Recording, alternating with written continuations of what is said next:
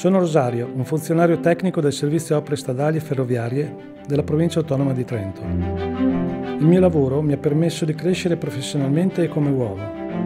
Ho collaborato alla realizzazione dei più grandi progetti stradali del Trentino e provo orgoglio ogni volta che transito su quelle strade, ponti e gallerie. Lavorare per questo bellissimo territorio è per me un onore.